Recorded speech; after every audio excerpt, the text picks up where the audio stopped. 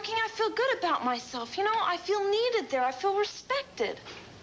Justine Bateman gets plenty of Alice, could you respect. At just for under 19 See years of age, convince them to let me she's a keep them veteran of three seasons on one of Ah, television's you mean- top hits, Family Ties. Ellis made me the new coach of the soccer team. You? You can't be Jason Bateman is her younger brother. He's starring in his own series on the same network, NBC. The show is called It's Your Move. That's at the ripe old age of 15. Justine and Jason join us now from our Los Angeles studio. Jason, you started in acting before Justine did, didn't you? Uh, yeah, about uh, two years before. Yeah. Did that influence you, Justine, to, I mean, you say, what a wonderful life, why don't I get in this? Um, not necessarily. I just, it was just something I decided, you know, what the hey, I might as well try. What influence does your dad have on you, because he's a producer? Um, he's, yeah, he was probably um, uh, most responsible for getting me interested in the business because, um, you know, he'd come home with all his his chatter about what happened in his day, you know, and I got real interested in, you know, this and that, uh, different things about the business. So that that kind of got me thinking, well, wow, that's neat, you know. Is the family close? I mean, do you talk show business at dinner and uh, whenever you get together? We try not to. You try not know, to. You talk sports or what? Sure, why not? You know, when when you're doing this for at least eight hours a day, last thing you want to talk about with your family when you get home is a business. But sometimes it's necessary, as our parents are m- managers. Yeah. Is it competitive between you? One has a hit series, one has a series that's just been canceled.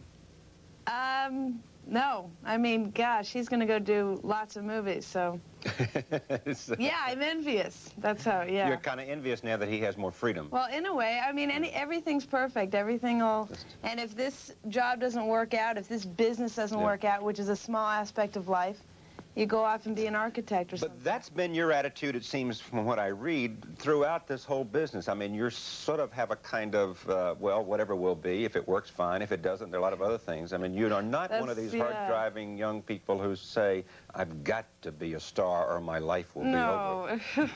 wow. I mean, if you ever, if you never get to that point, you've kind of thrown this life you've been given away.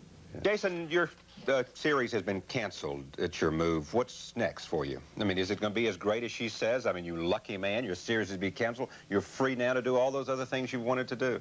Um, I hope to. I mean, um, the ball has already started rolling. Um, the offers are flowing in. Yeah, different offers, different scripts at the house that I'm reading, interviews that I'm going on. So it's it's starting to um, to really go off into that other um, aspect that she was talking about. Do you enjoy it a lot? Uh, do you look at it as work? Uh, when someone your age looks at what you do, they would say, wow, what a wonderful life he has. Is it that terrific? Um, it's as much as it's a lot of fun. Um, there is a lot of work involved. Um, uh, you do have to come home and study your lines and eat dinner and do your homework and call your friends and relax all in about two hours after you come through traffic from work every day. Um, you have to give up things on the weekends for publicity things. You got to get up early for things like this. Um, there are a lot of different things that aren't necessarily, you know, sweeping or shoveling as far as physical work, but it's it's definitely something that you you're very conscious of what you're doing. Do you have Um, time for a normal life as most of us would define normal life? You know, and time for sports, time for dating, time for all those things that are a part of adolescence.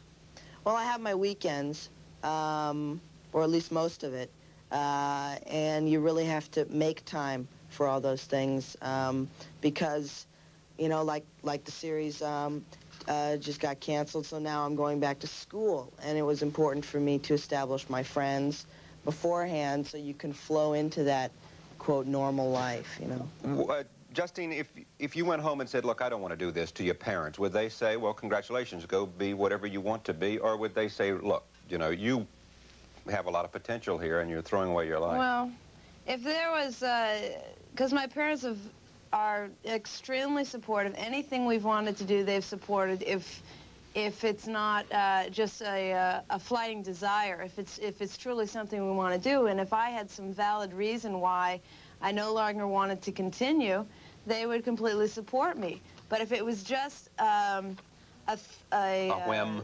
A whim out of out of some kind of frustration, they'd say, "Now wait a minute. Wait a minute. A lot of time, money, and people invested in what you're doing now, and you better be sure that this, that you don't want to do it anymore." Jason and Justine, thanks for joining Nightwatch. We'll continue. Stay with us.